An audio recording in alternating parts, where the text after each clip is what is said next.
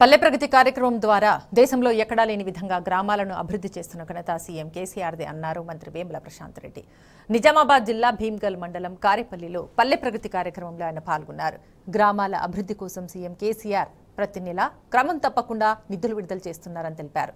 CM KCR అందిస్తున్న నిధులను సద్వినియోగం చేసుకుని గ్రామాల్లో వైకుంఠ ధామాలు పల్లె ప్రకృతి వనాలు సీసీ రోడ్లు వంటి అభివృద్ధి కార్యక్రమాలు చేపడుతున్నట్లు వెల్లడించారు మంత్రి ప్రశాంత్ రెడ్డి.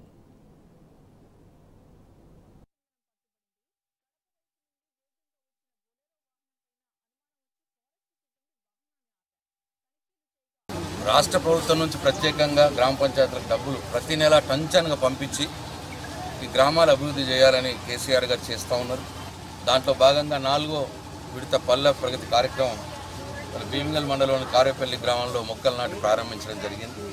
ప్ర- పల్లె ప్రగతి కార్యక్రమంలో నా వంతుగా మంత్రి కోటా కింద పది లక్షల రూపాయలు వారికి ఇమీడియట్గా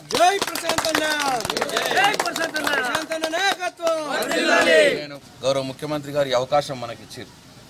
పల్లెలు బాగు చేసుకోవాలని ప్రతి పల్లెకు ఓ ట్రాక్టరు ఓ ట్యాంకరు ట్రాలీ సమకూర్చి ఇప్పుడు ప్రతి గ్రామానికి ఇచ్చారు.